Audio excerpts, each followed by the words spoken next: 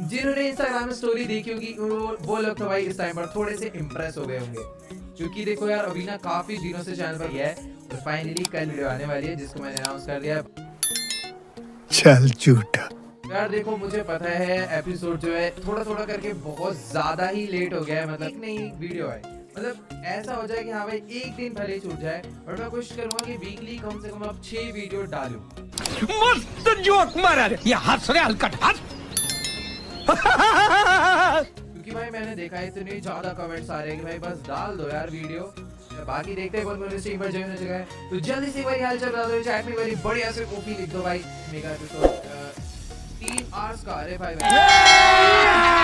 अभी मज़ा आएगा ना अभिनव गुप्ता भाई तीन आवर्स कुछ ज़्यादा हो जाएगा यार। ये कि मैं मतलब मेरी कंप्लेंट मेरे को लेकर है कि मैं वीडियोस नहीं डाला तो गाइस उसके लिए रियली सॉरी बट भाई आपको पता है मैंने लास्ट स्ट्रीम पे बोला था कि भाई तो बात उस दिन कल से पक्का नहीं भाई मैं ऐसा बोल के चला गया था।